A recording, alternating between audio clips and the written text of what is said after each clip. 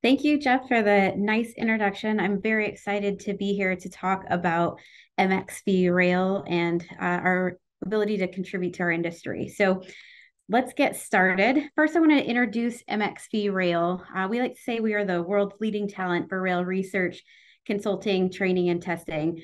Our organization has been around for quite some time uh, and are really purpose driven focused on moving our industry forward in the ways of maximum safety, reliability, efficiency, and resiliency. Today, I'm going to talk to you about our history, uh, how we contribute to the industry, both in the strategic research initiatives, but also in the commercial space. Talk a bit more about our capabilities uh, and how we're helping to move the industry forward. First, let's talk a little bit more about our organization, really what it means to be part of MXV Rail. Recently, you'll see that we changed our name from TTCI to MXV Rail. I'll talk to you a bit about why that change occurred in the next few slides, but I'd really like to take some time to talk about what our organization stands for. Uh, momentum, MXV Rail, many of you are probably familiar with the mathematical term for momentum. We thought it was a very fitting term to name our organization after because we really do provide the momentum to help the industry move forward. We are a team of amazing individuals with a lot of insight. Uh, over the years, the industry has invested in our talent pool,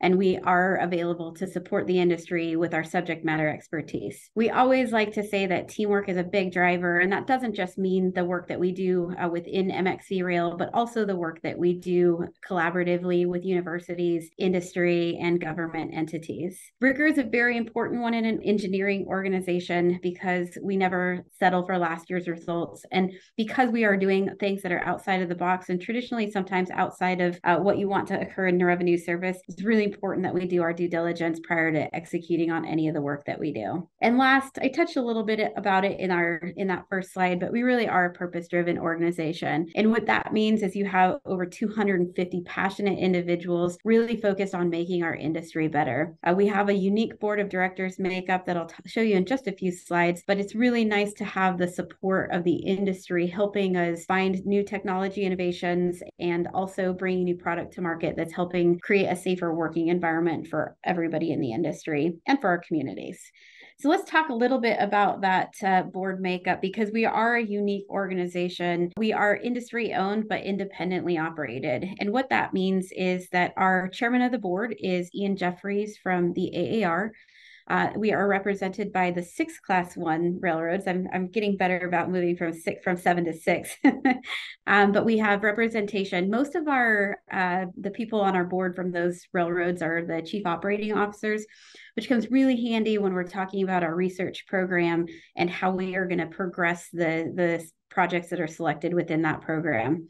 Uh, we also have new short line representation, which is an important element if you think about the fluidity needed between the short lines and class ones to make our uh, to move freight across the country. So RJ Corman and G&W joined our board at the end of 2023. So we're excited to have them on board. Uh, last but not least, we do have representation from Amtrak and Metra. We still we continue to work in the passenger space, although with some of the recent changes, our ability to execute large testing programs is um, less than it was in in prior years. So let's talk a little bit about our journey because it has been a change. Uh, I always like the opportunity to talk a little bit about the organizational history and how it's evolved over the last couple of years. Uh, one of the great things about our industry is that it's always been very focused on being a better industry, whether that be in the in terms of safety or customer service. Uh, from a research perspective, the AAR has had a research component since its inception in 1934. So we have a very long-standing history of trying to make our industry better. In 1982, we actually started to work on uh, under a care custody control agreement with the federal government out at the facility that's also in Pueblo, that's known as the Transportation Technology Center.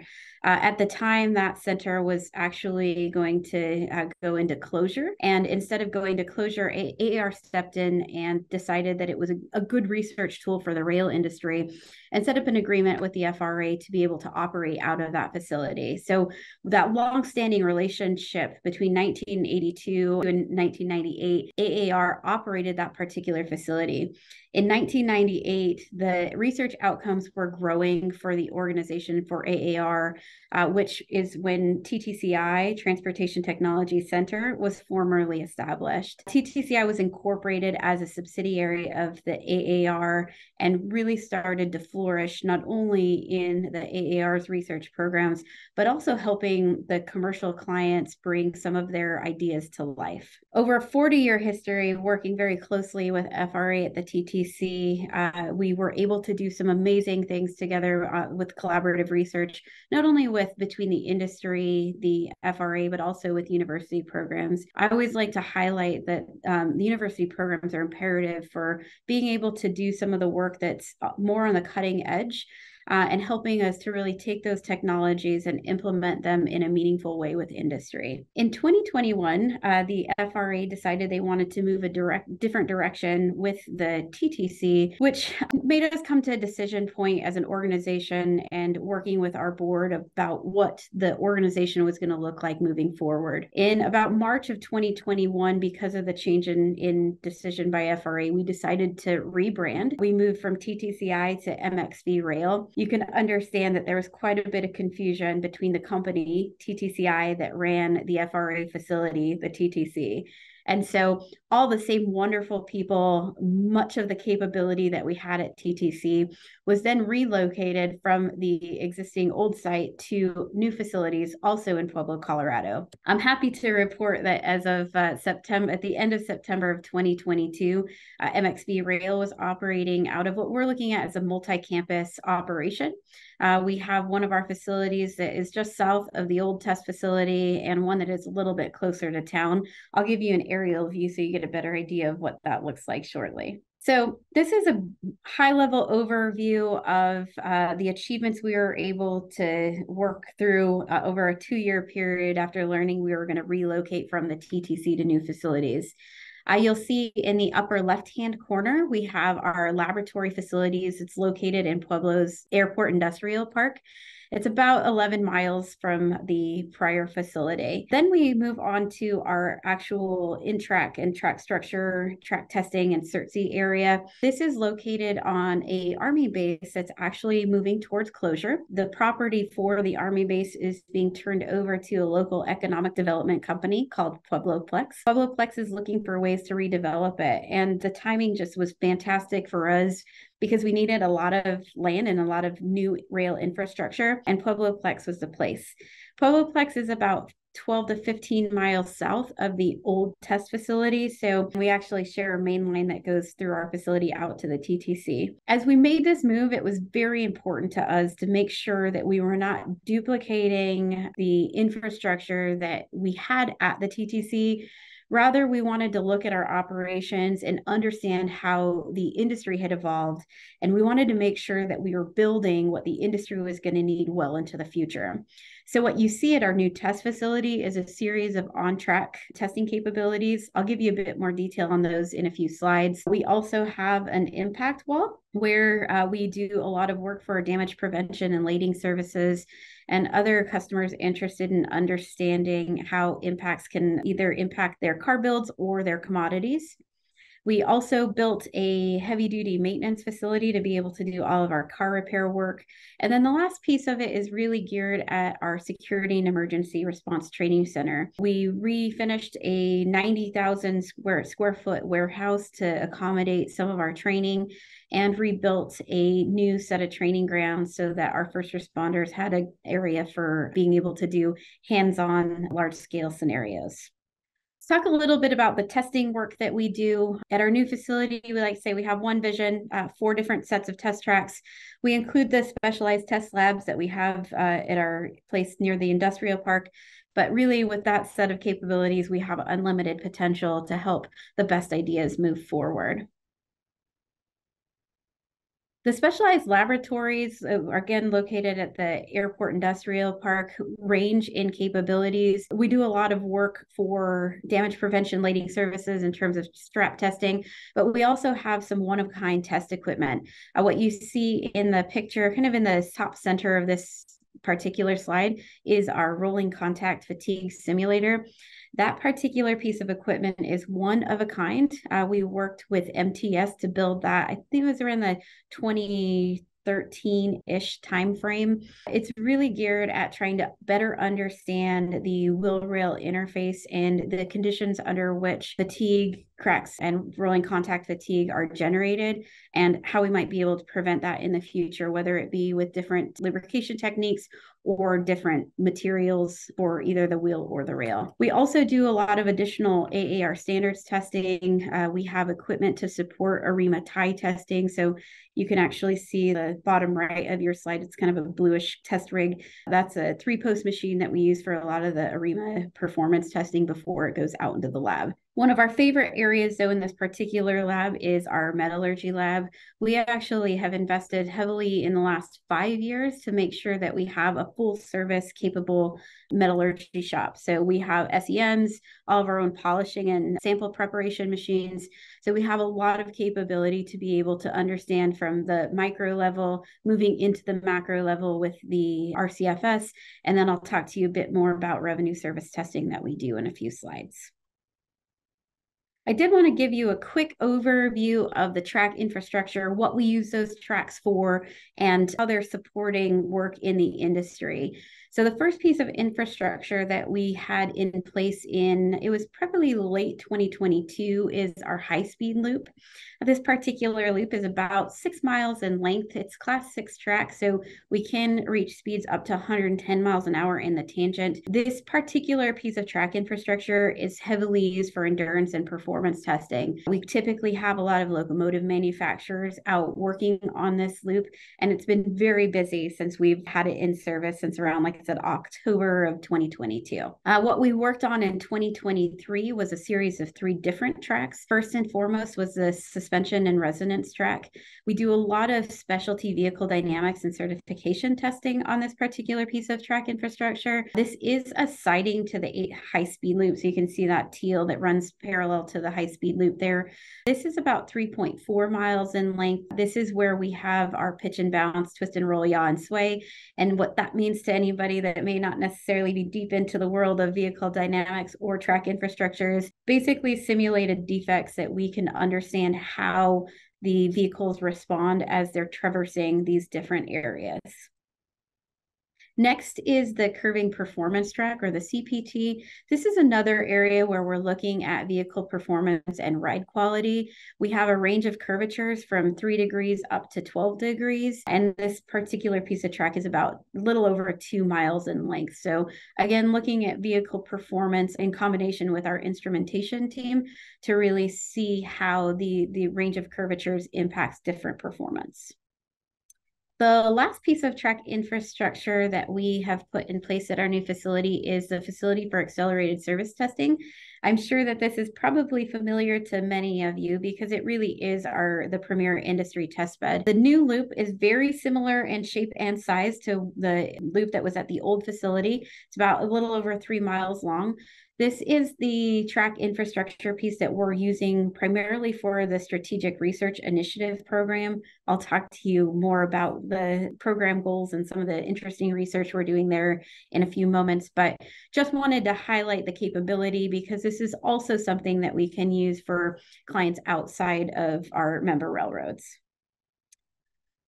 Another area of capability outside of just the testing work that we do is our consulting. Uh, we have over a hundred different engineers that can work on various broad ranges of programs, whether that be with a railroad supplier, university. I've highlighted some of the capabilities that we have in vehicle track interaction studies. We do produce instrumented wheel sets to support understanding vehicle performance for new vehicles or modifications to vehicles that are existing. We actually have a very large large department that is wholly focused on positive train control, worked very closely with the FRA for many, many years as the mandate for PTC came into being and, and moving all the way through implementation.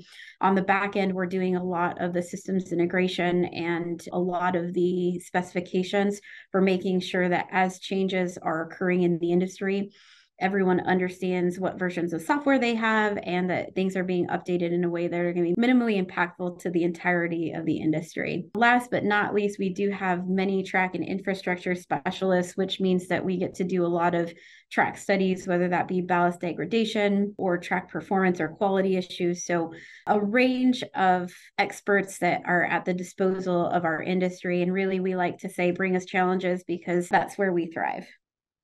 Moving on to our training capability, there's a couple of ways that we interact with the industry for training. We can do technical training for engineering staff or people trying to better understand the difference between inputs and what the outcomes are going to be. Examples of that would be training in vehicle dynamics, or uh, we do offer some derailment training. The other half of our training is really being housed in our new nonprofit, which is the MXV Learning Institute. This is where we train first responders on hazardous material response and it, for all modes of surface transportation. This is the one area where we actually do go outside of just rail. So we have highway courses, we've done pipeline in the past, we do tactical training. So a wide variety of opportunities for hazardous material response and emergency responders to train not only in the classroom but on real live scenarios. The last area we always participate in that little pe- people don't really know that we do is in the technical standards. The AAR and participating members are governed by a set of technical specifications to really ensure that interchange is done in a fluid manner. Our organization has probably around 60 ish people that are dedicated not only to maintaining and updating those standards in conjunction with the industry, but also going out and auditing for quality. So, plenty of work that we do here, whether it be in shops looking at wheel shops and uh, gauges, to being able to understand the performance for damage prevention in securement and lading, a wide variety of services that are offered and, and very important from an industry perspective. Before I move on to our strategic research initiative program, I did just want to take a minute and spotlight how we work commercially with our customers. One that has been very, very well known recently is Parallel Systems. You're starting to see a lot of buzz around the rail industry news around their progress. Uh, we are working with Parallel Systems under an ARPA E grant to be able to look at the technology and make sure that it's implemented in an efficient and safe way. I threw up a couple of pictures of their autonomous bogies and how they are intending to use those bogies in revenue service. They do have a partnership with at least one short line right now, and we're working with them to be able to do the testing at our facility first to understand performance and then helping them move that out into a broader implementation out into the industry. So, very exciting technology geared at improving capacity on existing rail lines and really improving our ability to provide service to our end customers. So, keep an eye out for this one. Like I said, they're currently with us doing some testing. Uh, we've seen positive results so far. So, I think everybody in the rail world is very excited to continue to see the progress for parallel systems. Next, I want to move on to our research capabilities. You know, I talked a little bit about the research program being founded when AAR was founded. And since then, the industry continues to devote time, energy, and dollars to be able to progress the best ideas forward. Our research program is really key to advancing the safety of the industry through science based solutions, but really encouraging collaboration by building some multidisciplinary teams. And that means using a combination of our experts with industry experts, with university experts to really identify the most viable technologies or methodologies and apply those and test them first, and then figure out how we efficiently move those into deployment into revenue service. Our strategic research initiative program is really geared at supporting vendors through that development cycle. So I like to say taking those ideas and helping vendors through the implementation cycle. We do that in a few ways. Uh, first and foremost, we can do uh, simulations, laboratory testing to help understand product performance before it's going into a bigger scale. We can then move into the controlled on track testing environment, which is that fast loop I showed you. I'll give you a bit more details on that in a moment. And then finally, because we're owned by the railroads, we have a unique partnership and unique ability to be able to work very closely with them to bring new products and put them into some controlled tests on railroad property. What that means is that the sites are typically worked with a particular railroad, and we're constantly monitoring the performance of those products.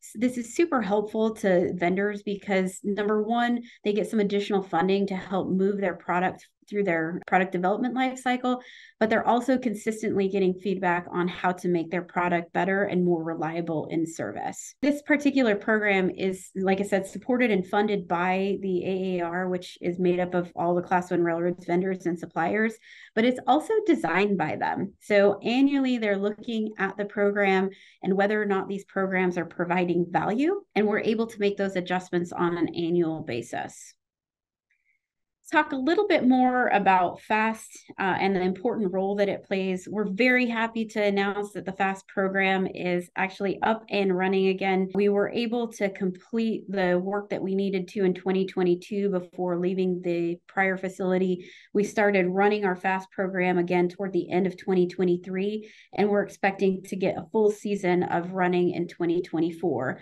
which means that with this new loop, any test that's out on the FAST loop is going to see about 140 MGT worth of traffic in 2024. You can see I've highlighted some specific areas that we're looking at, whether it be bridge deck and special track work. We have some detection systems that we can do comparative studies.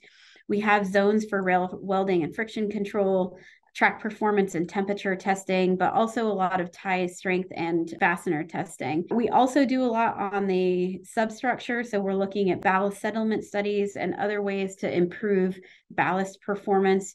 Overall, if there's an infrastructure component being tested, we're thinking about it and and it's likely in this loop the industry has really enjoyed the output from this particular piece of our strategic research program. And again, we're just so excited to have it back online uh, and having a full season of operation in 2024. I did want to take a couple of minutes to talk about some of the research. I there's overall there's about 16 different programs that are in this particular uh, SRI program. So I don't I won't have time to talk about all of them, but I figured I'd pull out a couple of interesting ones, starting with our bearing performance and integrity studies. I know this is a hot topic, no pun intended, but right now we're really looking at the reconditioning process and how the impacts of quality reconditioning can support longer term better performance of bearings post reconditioning. So on the left middle of the screen, you'll see some of the work that we've done on the bearing rig. So we've taken bearings that had prior defects in them, did reconditioning, and we're running them on a rig to understand how quickly defects are growing, what they look like when they do grow. So you can see on the far left of this slide, there was a spall repair that was made. We ran it for 40,000 miles on a test rig, and you can see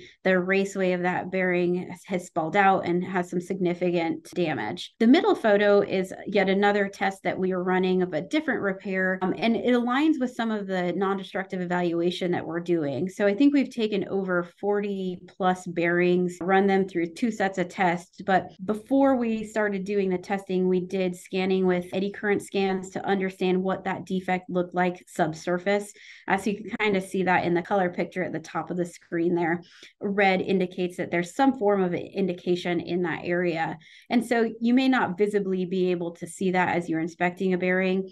So part of this program is really trying to identify technologies that we could put in the hands of people in a shop to help better identify any existing or leftover defects that would be part of the reconditioning process. That gets to that advanced testing and uh, non destructive and destructive characterization testing. We have been looking at methodology to deploy in our shop environment for eddy current testing, again, to reduce the likelihood that a bearing that wasn't completely addressed through the reconditioning process would be able to be identified uh, and fixed prior to being installed on a car going out into service. So this is an ongoing piece of work. I think our last publication was a technology digest in about middle of 2023. Uh, we're into the phase three work right now. This is another area where we are working with a university, and I look forward to the research results that we are going to have published probably, I would say, about mid year this year.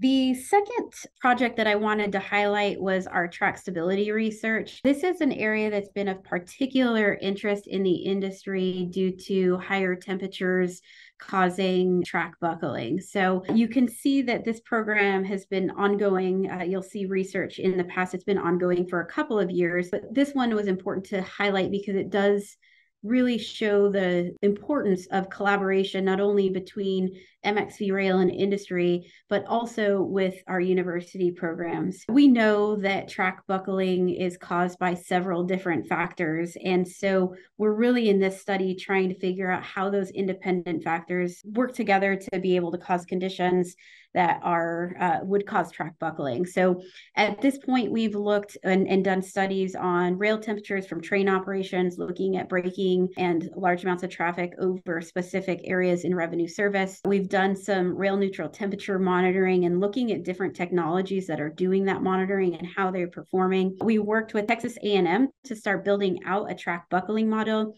and we've also done a track buckle test to help validate that model. You can see the results of the track buckle test actually in this photo to the left. When you see that type of uh, situation in revenue service, that is very, very bad. Fortunately for us, we get to do some fun things at our facility and we were able to actually force that track buckle so that we were able to take data throughout the process and understand, again, those variables that drove the end product of the track buckle. This research will be ongoing. Dr. Steve Wilk is in charge of this one. And so keep an eye out for publications if this is an area of interest for you.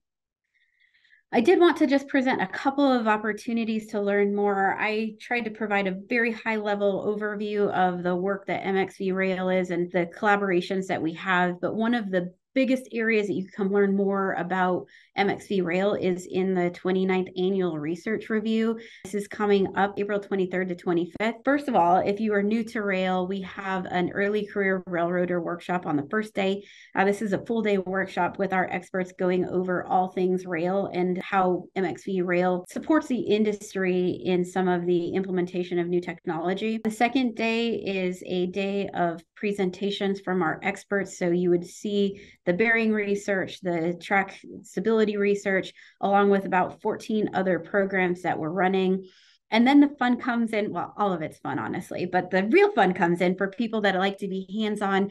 Uh, you get to take a trip out to our new facility and the new facility for accelerated service testing and get your hands on research and actually get up close and personal, not only with looking at the performance to date for each of those experiments, but also interacting with our experts in those test zones. Another area that we started probably about uh, five or eight years ago is university City Days. This is a special time for us because I've impressed upon you that our collaboration with all of our university partners is very important, not only from a technological advancement perspective, but also from a getting people interested in the industry. We wanted to celebrate that in our university days, and this year we're going to be doing that August 13th to 14th. This is where we invite all of our university partners or interested people from universities to come visit the facility. This is a more expanded tour of the entirety of the facility, talking about some of the research programs. So I do highly recommend this event if you are interested in learning more about rail and want some more one-on-one time with our experts. Uh, the last area that I wanted to point out for people that is just always amazing to me, we actually about two years ago opened up what I like to say our knowledge library to anybody that was interested in Rail via our website under the knowledge interchange section. Under this section, we have all of our technology digest, which is about 1,100 different publications at this point. It's a searchable database based on keywords or author name you name it, you can search for it and you're able to download these articles. I think the only thing we ask for is an email address. So this is definitely something that's can be a huge resource, a great library for people that are new to the industry or have a very specific problem. It will these technology digests are about 4 pages in length give you a very high level summary of what the objective and what the outcomes were. But if you need to learn more, you can always touch base with the experts that are on the publications, or uh, you could contact us through our website at mxvrail.com. I appreciate your time today. Uh, if you have more questions, I know that we have a little bit of time for Q&A, so I'm, I'm hoping that we get a few more of those. But if you need more information that we can't address today, please feel free to reach out to us again via our website. We're very active on LinkedIn. And if you want to learn more about our Security and Emergency Response Training Center, you can visit CERTC.org for more information on the courses that we have, course calendar, or even registration. Thank you so much for your time. I appreciate your attention. I look forward to some great questions.